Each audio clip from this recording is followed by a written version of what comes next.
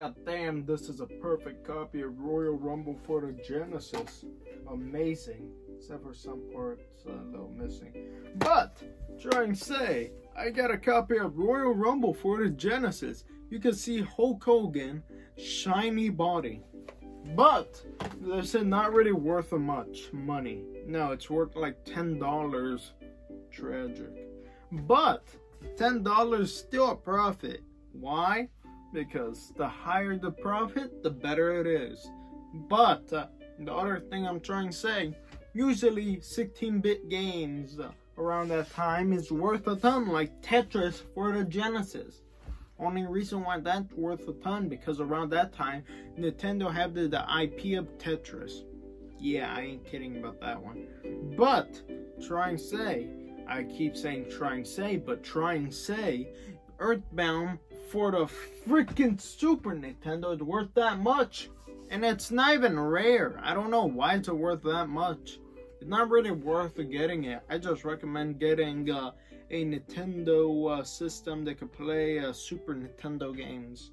I recommend that.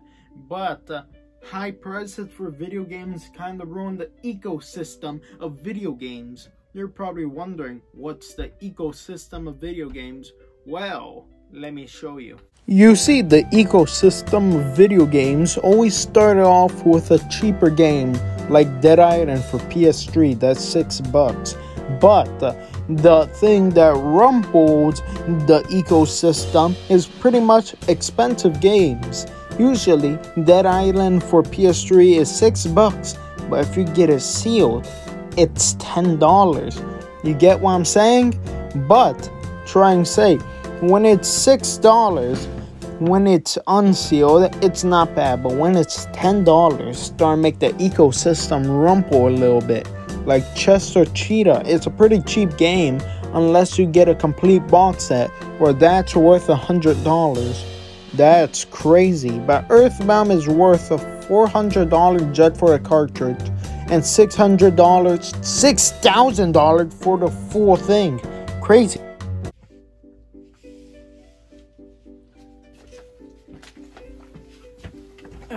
I'm back from Taco Bell. The Crunchwrap Supreme was golden.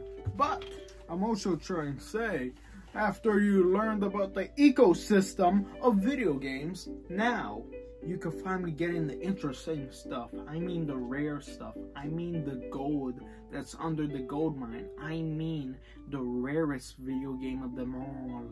The rarest type of video games. I'm talking about four of the rarest types that nobody ever seen before.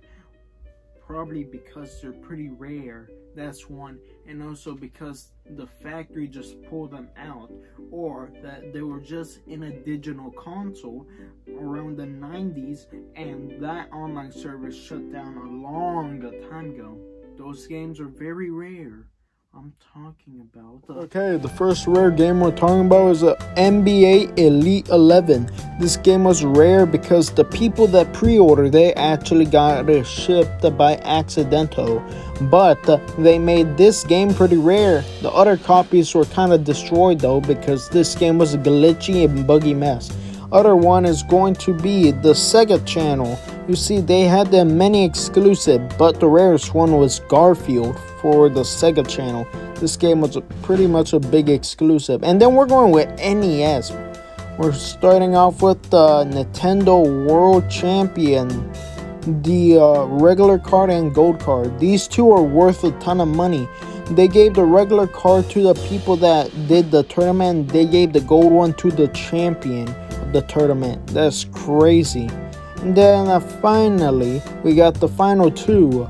We got Poop for the PS4. I ain't kidding. Same story as uh, NBA Elite 11.